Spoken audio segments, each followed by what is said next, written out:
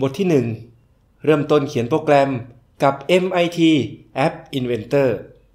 ในบทนี้เราจะได้เรียนรู้เกี่ยวกับการสร้างโมบายแอปพลิเคชัน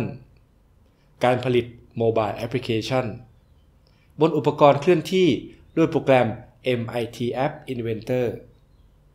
การเชื่อมต่ออุปกรณ์ผ่านระบบ Wi-Fi การทดสอบผ่านสาย USB หรือการจำลอง Android Emulator ฝึกปฏิบัติเข้าใช้โปรแกรม และทดสอบการเชื่อมต่อกับอุปกรณ์